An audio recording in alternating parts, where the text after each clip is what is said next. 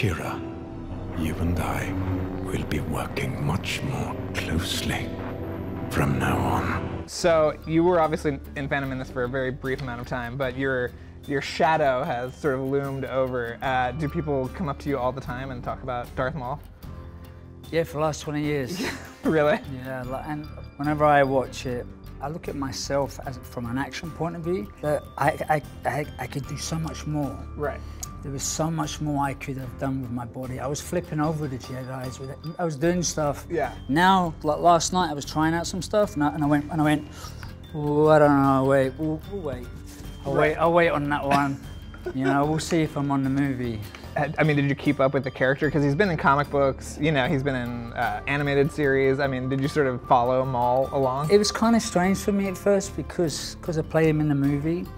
It was like I didn't. It, I've got I have the books, but I think deep down in my heart, I didn't want to have any outside influence in Okay. case they asked me back.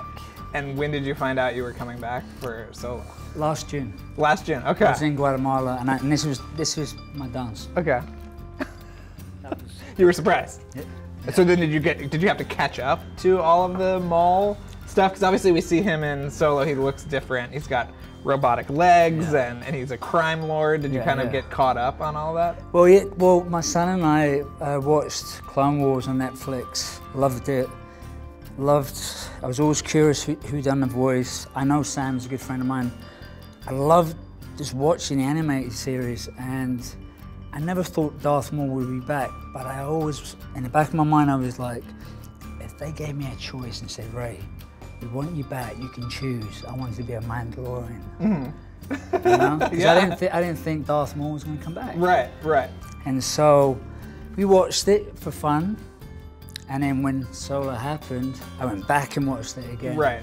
Because I didn't, at the time, I didn't think the cartoons related to the movies. I thought it was all all different, but it does. Right. It all, it all fits Oh in. yeah, they've got they've got a plan. I hope so.